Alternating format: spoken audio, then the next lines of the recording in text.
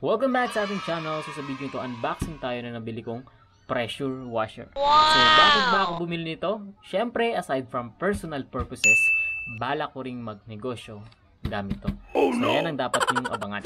So ang brand at model pala niya ay Kawasaki HPW220. So mamaya explain ko sa inyo bakit ito ang binili ko. At mamaya rin, yan, i-assemble natin kung paano ba mag-assemble nito. At saka syempre, gagamitin natin if this item ba is worth buying ba. So, tingnan natin kung okay ba ang pressure niya, makakapaglinis siya. So, yan ang dapat yung abangan. Pero bago yan, huwag yung mga kalimutang mag-subscribe sa ating channel. I-like ang video kung inyong magustuhan at share nyo rin para dumami tayo. So, umpisahan na natin. Okay, so tanggalin natin. Ito ang gamit natin, pusher. So, buksan na natin. Mukhang hindi pwedeng pusher lang.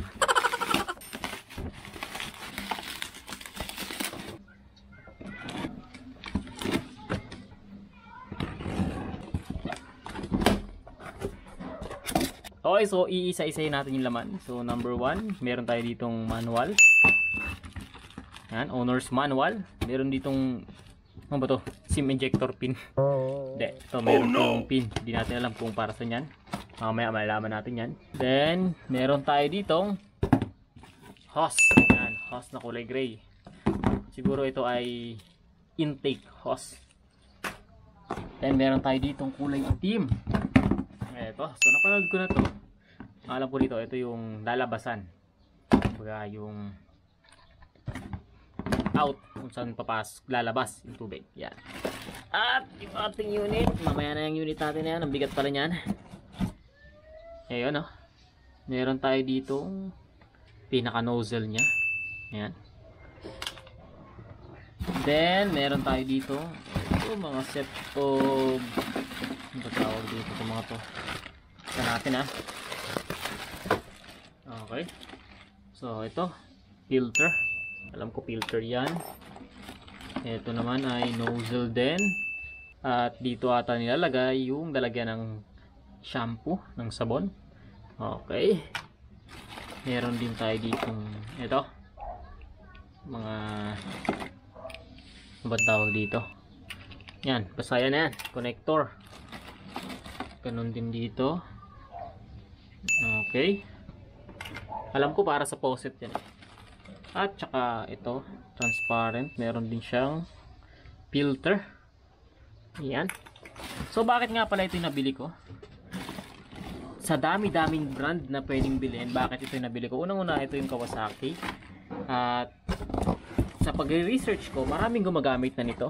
Meaning to say, kung sakaling masiraan tayo nito, baka mas madaling humanap ng mga pyesa nito. Ah. Pangalawa, bakit ito namang model ang nabili, nabili ko? So, may kita nyo dito. Motor power niya is 1,200 watts. So, meron ako nakita 1.8. So, medyo malakas siya sa kuryente.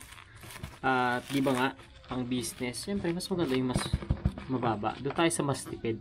At nakita ko naman yung reviews and yung mga videos nito. Okay naman yung lakas ng ano niya, pressure. So, yun, pwede naman siya siguro. At least mas mababa yung wattage niya. Uh, rated pressure, 70 bar. Hindi ko alam yan. Max pressure, 100.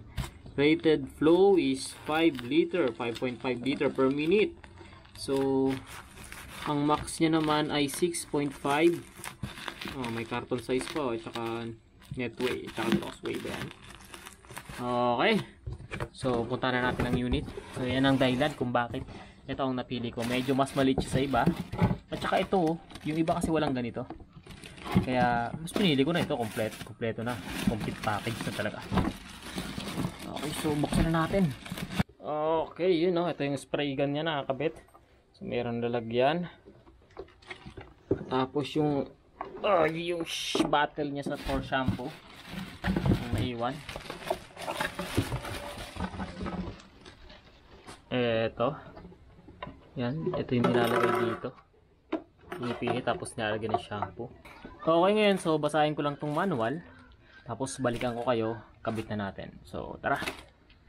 Okay, kanina hindi ko to matanggal. Ito mismong gun na to ayun o, oh, ayaw nyo yung pala meron pala siyang lock dito Yan ang makikita nyo. Pipindutin nyo lang dito sa unlock. Tapos sa kanya pindutin, yan. Pwede nyo nang hugutin. So ito yung ating pressure gun ata ang tawag dito. So ito yung ating gun. Okay, so after reading the manuals, so ganito ang pag-install. So unang-una, kabit muna natin to. Yan, so kung makikita nyo to, ito yung panlock nya. Itong nakaangat na yan. Upright dapat. Meron, makikita nyo naman yan dito. Tapos diinan, then twist. Yan, pakanan. Okay, so nakabit natin. Pareha siya dito. Dito sa ating isang nozzle natin. Ganun din. Okay, so ito yung para sa sabon natin. Meron siyang hose. Kakabit nyo lang yan, dudugtong nyo lang yan. Okay, good na tayo dyan. So, pangalawa naman is yung ating mismong ito, high pressure hose. Ito, so, plug and play lang din to. Makikita nyo to, ito yung pinakalock nya. Didiinan nyo lang yan. Pagka-DN, saka nyo salpak. Sagad nyo. Yan, pag bitaw nyo, yun, lock na siya. Pag narinig nyo na. Okay, so nakalock na siya. Sa kabila naman, itong kabila naman, dito naman natin siya ilalagay sa ating pinaka-unit sa machine natin. Dito. Okay, so ito. Yan o. Ganun din, ito may lock din siya. Iangat mo lang, sabay salpak mo. At sagad mo lang. Okay, so yan na. So next naman is para sa ating yan. Ipasok intake ng tubig dito naman sa kabila. Medyo mahirap pa pwesto natin. Okay, so dito mayroong plastic yan dito cover dito. Yan o, dyan natin ipapasok. Ito. Ito, hindi pala ipapasok, twist lang. Yan o, may thread siya. Ayan. Thread lang natin siya, ikitan lang natin. Once na maigpit na, kung makikita nyo to, itong kulay orange na itong isa. Ito naman ay i-connect natin sa ating garden hose. Ito. Sa ating hose na to. So, yung isang dulo, nandito. Papasok nyo lang to. Yan. Medyo sagad-sagad. Tapos, pihit.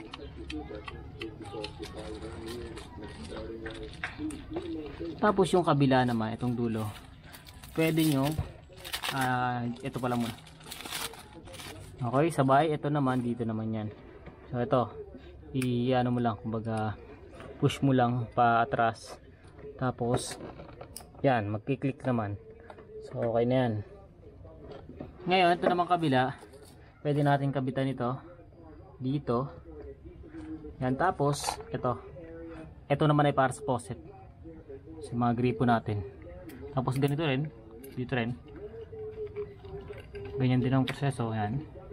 Sa faucet natin. Or, di kaya sa ating dito kung sakaling sa drum natin merong tubig reservoir yan ito naman pasok lang natin siya dito filter. Yan. So meron din siya filter dito meron din siyang filter dito. So yan. Setup na. Pwede na natin siyang gamitin. Tapos saksak na natin itong kanyang mahaba naman tong cord na to. So tara. Try natin. Testing natin kung gumagana. Pati tae tanggal oh. Haba pero nang inaabot oh. Pagi na ako magkarwas ha. ano, tatanggap na wala ako. Yun na. Ah, nakita nyo, malakas oh. Eh, ano nga, ipalitin mo. Yun oh. Bawal tong ano, ipatama sa tao. Taas ng pressure oh. Galaw nga lang ng galaw yung makina. Lalagay mo sa Dapat maganda mas malaki yung ito, hose nyo. Kasi ano eh, parang sa sobrang higop niya. Napaplat niya eh. Kaya dapat maganda yung pagkakalagay nito. Yan. So, ganda. Try natin yung may sabon. Okay, so ngayon try natin sa motor. Ay, umaatras yung kamay ko. Lakas ah.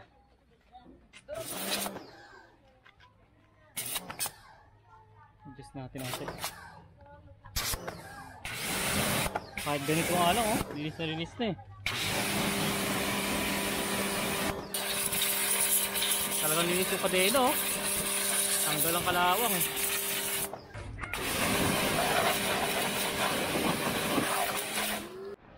Okay, so ngayon try natin na may sabon. Natin ko okay. Ano? Kaso nauubos. Medyo nauubos siya ng stock ng tubig doon. Siguro mas maganda, mas mas mataba yung ano natin, yung garden hose, yung intake hose niya. Nauubusan nata siya ng tubig eh. Oh, nawawala na oh. Oh, saka babalik na naman. Oh. Medyo baka masira kaya dapat hindi ganoon eh.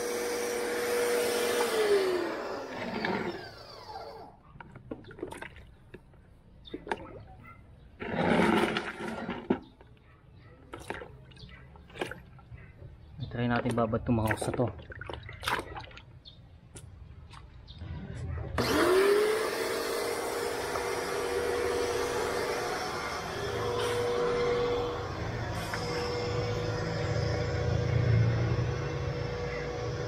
Tagal niya. Oh.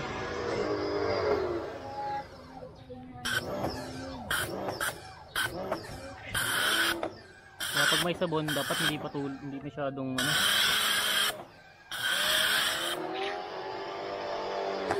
Okay, sa pag may sabon siya, medyo kinakapos yung intake ng tubig niya. Uy, babaha na tayo dito.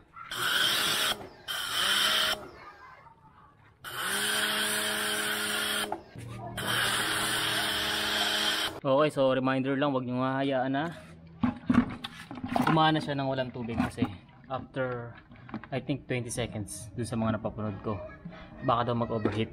So meron siyang 20 seconds na allowance na once na dumating or lumagpas ng 20 seconds na ginagamit mo siya na walang tubig na lumalabas ma-overheat siya at masisira ang ating unit. So iwasan natin yung gamitin kaya dapat ma kumare laging maraming tubig. So, yan. Nandito na lang ang ating video. Don't forget to subscribe, like, and share. Goodbye.